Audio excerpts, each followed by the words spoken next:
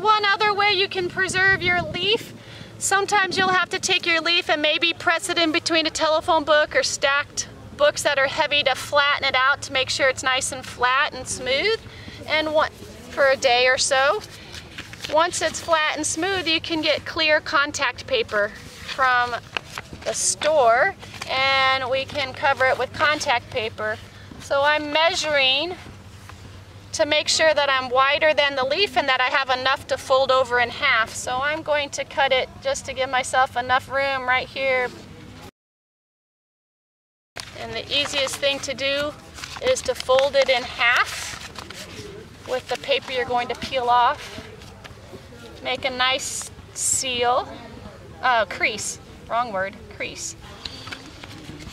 Then you'll peel off half of it only. We go, here's half.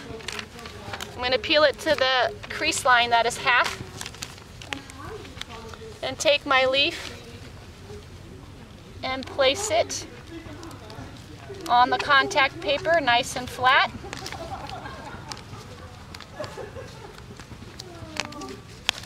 Once you have it on there, you can peel off the other half, and then you're going to carefully fold it where your crease was.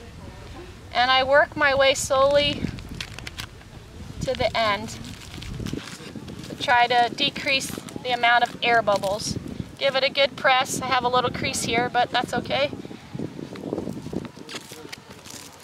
This also is not as flat as it could have been if I had pressed this leaf for a day or so. Then you can take your scissors after you have it sealed all nice and tight and you can trim around any way that you like. And if you want, you can punch a hole. You can hang it in your window. And you can use these to make a, a leaf collection and save all the different types of leaves you find.